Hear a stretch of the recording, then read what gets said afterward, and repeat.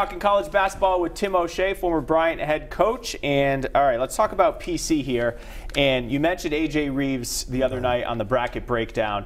When he gets hot, this PC team is a different team. Is he the X factor for you at Madison Square Garden?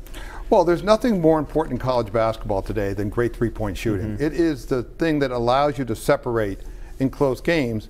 And Reeves is a special shooter. I mean, you saw it early on. In fact, I think Joe Hassett even called him the best uh, shooter he'd seen at Providence College in recent memory. Providence got all the other parts, and when they struggled this year, Reeves was hurt and out of the game. Mm. They might have had two or three more wins now had he been able to stay healthy. So it's a great time to get him back, and he is a huge difference maker. Now you mentioned, you know, they've beaten Butler twice. They can beat him a third time if they're maybe just the better team than the Bulldogs. The Villanova team, they usually knock off Nova once a year. They right, haven't right. this year. Are they due to beat Villanova? Should they face off in the 8 1 matchup? The one huge advantage Providence is going to have is they're going to go in there with a little chip on their shoulder, a certain desperation to win because they know the only way they can get in the tournament right now, they need to right. pull off a big upset like that. Villanova, on the other hand, they're in. They're good to go. They're right. going to be in the field.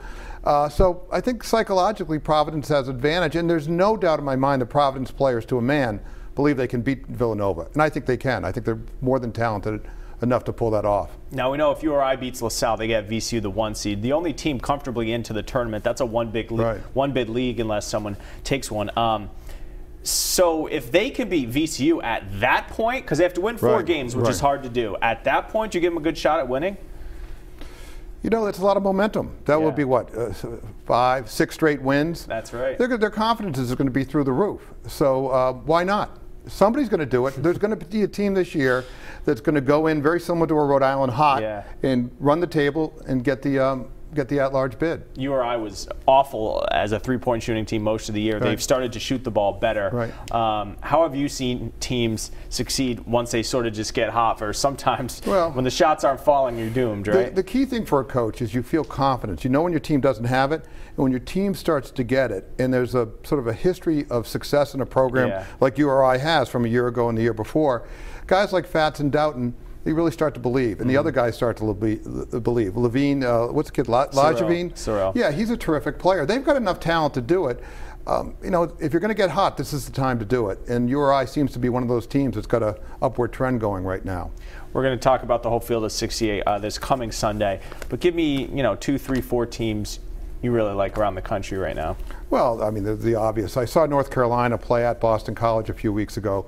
I couldn't have been more impressed. I, I mean, they were just a machine. Yeah. Uh, so obviously North Carolina. Um, Duke gets Zion back. Um, you've got to like their chances. I think Virginia's going to make a run this year. They had that crazy fluky upset right. a year ago. Tony Bennett's one of the best in the business. I think they're sort of got something to prove. Yeah. I could see them making a serious run. Uh, Michigan State always finds a way uh, to be in the mix.